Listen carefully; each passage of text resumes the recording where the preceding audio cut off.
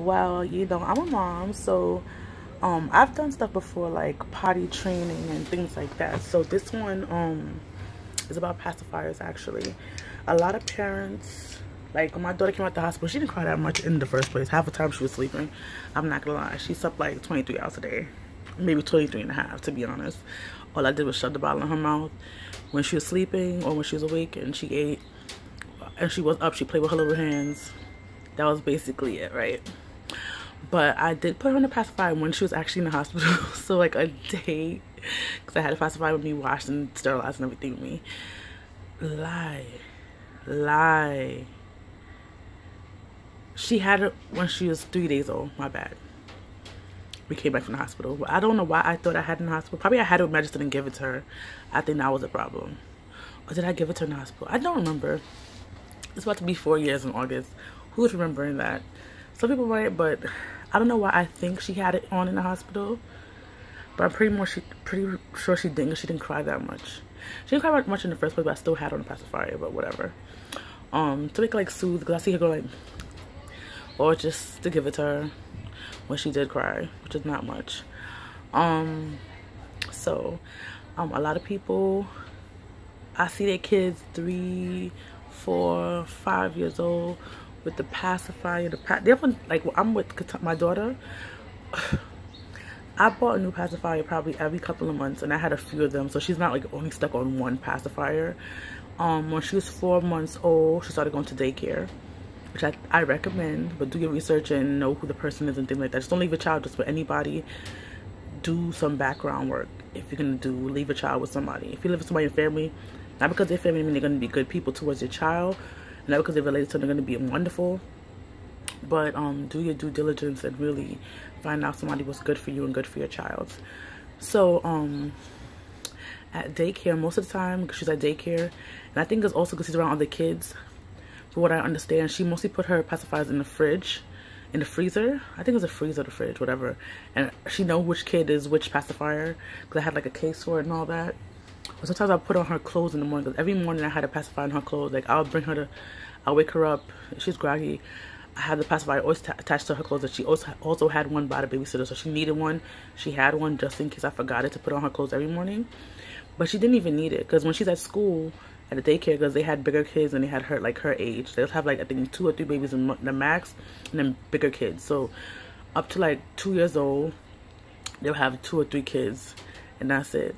Because it's like depending on how many people are on staff, you can have it the ratio of kids.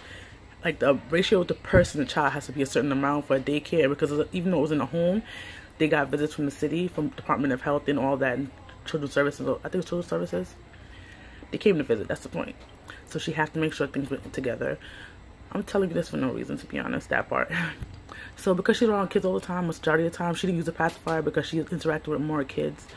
Um, she didn't really need it. She really didn't cry there. She loved being there.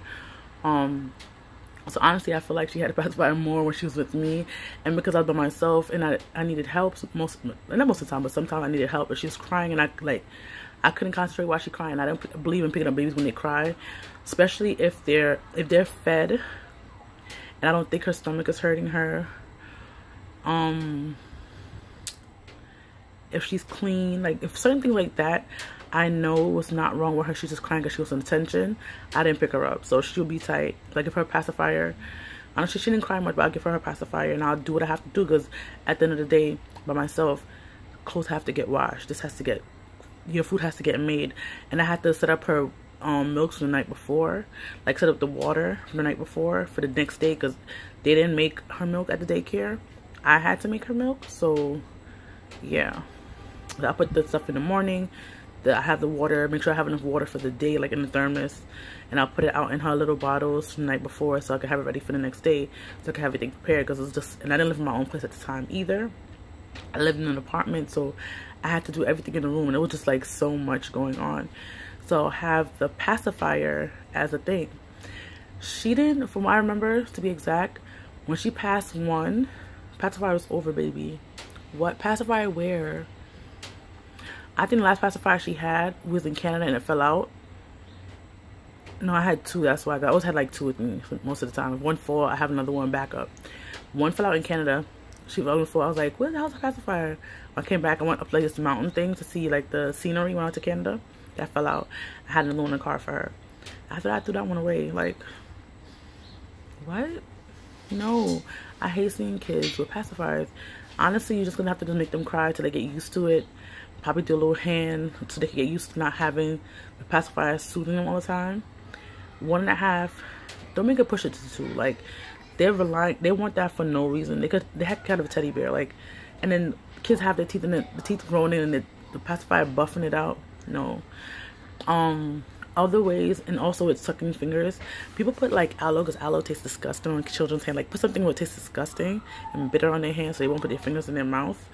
Um you could do that to the pacifier too.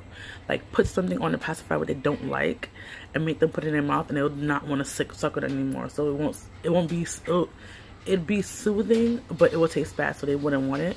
That's another way. Um just make them cry for a couple of nights and they'll be all right hi. So that's like a couple of things you can do to like get your child wean them off the pacifier. And it's better for their teeth if you don't do that either. So um yeah. My daughter has excellent teeth excellent teeth hygiene also brush your teeth. As they have teeth coming out start brushing them don't get cavities. And i don't like to see little kids with cavities either. And it's like why? Because it's not their responsibility at the time anyway it's your responsibility to take care of them until they are able to do it themselves. So if you don't teach them the right way to brush your teeth from now, they're gonna be 30 with all cavities, looking a hot mess. And why they know how to do that stuff? Because you didn't teach them in the first place. Just saying. All right, later, guys. Bye. Oh, and get don't one thing. Also, I'm sorry.